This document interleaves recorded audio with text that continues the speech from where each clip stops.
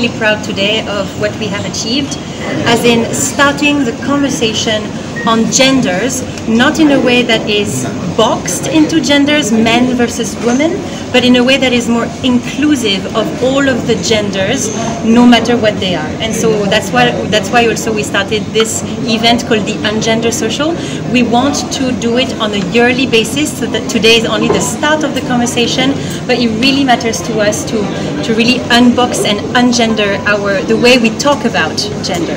And uh, really happy also to have seen all of these organizations that have joined hand today. We have more than 30 partners just for one day celebration event.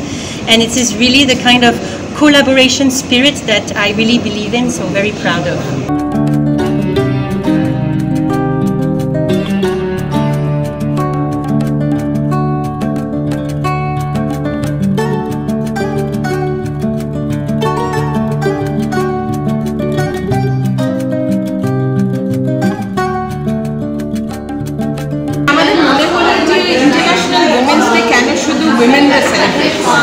নারী পুরুষ নির্বিশেষে আমাদের celebrate করা উচিত যে অগ্রগতি আমরা করেছি সেটাকে এবং আলোচনা করা উচিত আরও কতটা আমাদের এগোনো বাকি আছে সেটা নিয়ে। এবং যতক্ষণ না আমরা সবাই একত্র হয়ে এই আলোচনাটা করব, একে অপরের মতামতকে সম্মান দেবো, ততক্ষণ অবধি আমাদের এগোনোর পথটা সম্পূর্ণ হবে না।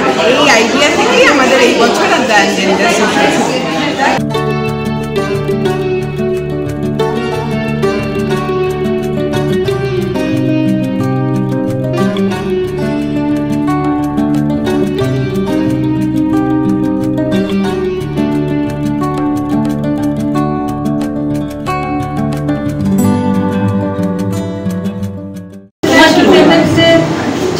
সে যে দিনটা ঘিরে যদি আলোচনা অন্তত শুরু হয় যেগুলো আমাদের হয়তো খুব বেসিক জিনিস নিয়ে যেগুলো আমাদের সারা বছরে আমরা নিজেদের মতন করে যুদ্ধ করতে থাকি আর নানান জায়গায় বক্তব্য রাখি।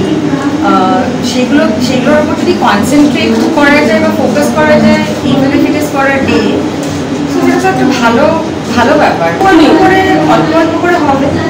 আমি বেঁচে থাকতে মনে হয় না দেখতে পাবো সেটা। কিন্তু আমার পরের জেনারেশন তারপরের জেনারেশন তাদের যদি আস্তে আস্তে বলে তো যেতেই হবে বন্ধ করে দিলে